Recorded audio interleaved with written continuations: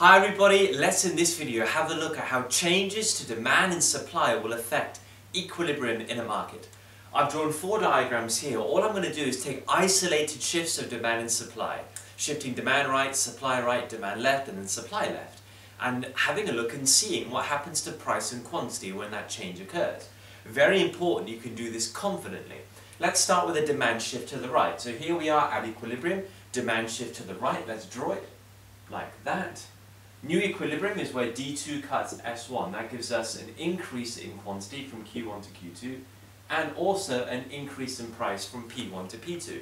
Remember all the reasons why this could happen. Your specific factors. So maybe it's an increase in population, maybe it's good advertising, successful advertising campaign, uh, maybe it's a increase in the price of a substitute, uh, maybe it's an increase in income, assuming that this good is a normal good, a change in fashion and tastes, towards this good. Maybe it's a reduction in interest rates if this good requires borrowing money in order to purchase it potentially.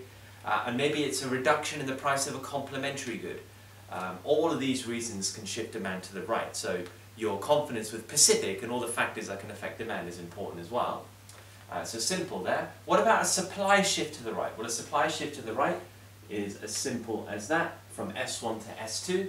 If we show the new equilibrium, again there's an increase in quantity but now a reduction in price from P1 to P2. A good idea is always to draw arrows just to let the reader know um, exactly what's happening to price and quantity. So whenever we shift the supply curve, remember generally we think, ah, costs of production. If supply is shifting right, we think, oh, there might be a falling cost of production. Then we think pints WC. A lot of those are specific reasons why costs of production can change. So if we go through Pints WC, maybe it's an increase in labour productivity, maybe it's a removal of an indirect tax or a reduction in an indirect tax, an increase in the number of firms, an improvement in technology, maybe it's a subsidy granted or an increase in the size of the subsidy that's granted, maybe it's good weather, maybe it's generally the cheap, right? A fall in costs of production, maybe a fall in transport costs, a fall in labour costs, reduction in regulations, whatever uh, will shift supply to the right like that, and that's the impact on price and quantity.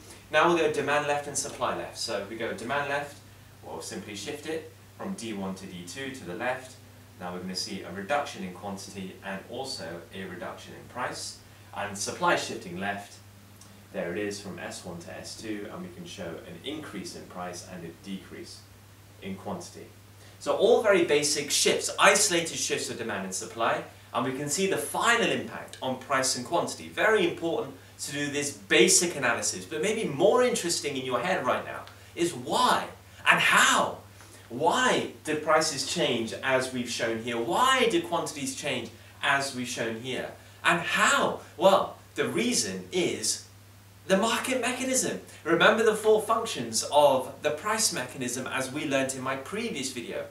RC, we are now going to understand in much more detail how this happens. How does the market reallocate resources? Let's have a look at that.